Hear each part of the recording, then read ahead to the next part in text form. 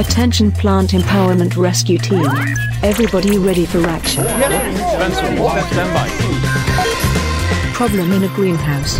Discolored roots, brownish and dirty. Only roots in the bottom of the substrate. Looking for solution. Okay, so who's gonna help them? Calculating best partner for this mission.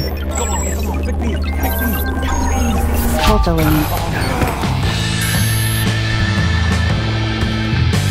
So, some questions about the roots. Where can we help them? What should be? Hey, high drain percentages. Uh, a lot of drain water.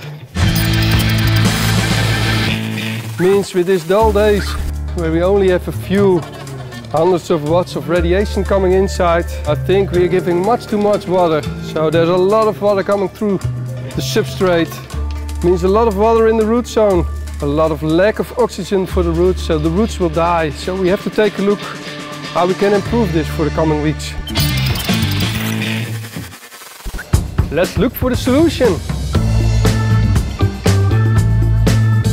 Which solution do we have? First, we have to make a year planning for the watering. Second, which phase in the year planning are we in? And third, which phase are we going to in the year planning? For example, take this crop.